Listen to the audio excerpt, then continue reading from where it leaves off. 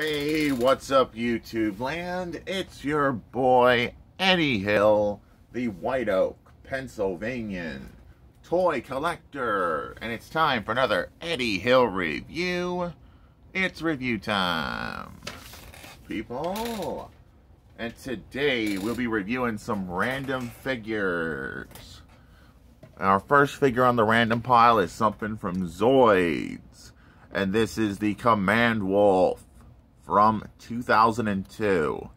Probably wondering, why is it not painted all blue? Why did I do it with a Sharpie?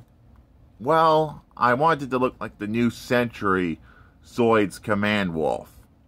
I just love that design more, and that's why I painted it with a Sharpie. And plus, it's going to look a lot nicer on my shelf, looking like the Command Wolf from my favorite anime cartoon. And this figure is from 2002. That's how old this figure is. I was born in 1993, and this figure came out around my childhood. Isn't that awesome? I've been wanting a Zoid in my collection for a long time to add to my random robot shelf. But now I have one. And it's the Command Wolf. And the color it was before, it was silver. So I just repainted it blue to look like the new Centuries Command Wolf. Next on the bucket list, we got some fast food toy goodness, but before we look at that, we're going to look at the Command Wolf's posability he does have a lot of posability. No bending knees or anything like that. It's an old figure. There ain't going to be much articulation. Head can move, which is nice. Turret can move. That's nice. Tail can wag if you want it to wag. Like a dog. And that's just fun about this. You push this down to activate the gimmick, which is pretty cool. I love these old school figures from my childhood. I'm so glad I picked this figure up because I loved Zoids when I was a kid, and I'm so glad to have a Zoid in my collection. I used to have like a ton of the model kit Zoids, but over the years they got broken or I tossed them out. But now we're going to look at the other figures.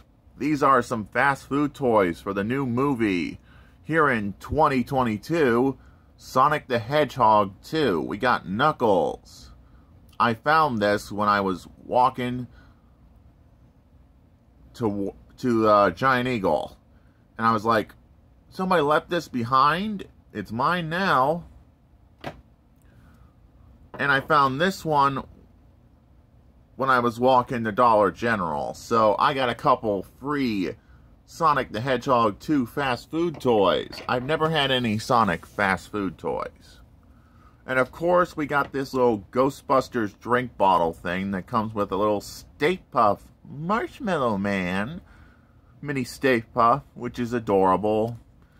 And according to this, there are several to collect, but I'm not going to collect them all. I'm just going to be satisfied with this one for my Ghost collection. And that's all there is to say for this review. Probably wondering, where did I pick these figures up? Well, I found these figures. You can probably get these at McDonald's. Got this figure from my local Dollar General, which you can find at Dollar General. And I got this from Steel City Con. Maybe you could find it on eBay for a good price if you want to find that. And eBay is one of my main go-to sites to find figures because eBay's got some good competitive prices sometimes. And that's all there is to say for this review. This is Eddie Hill, moving on and rock on and rock out YouTube land.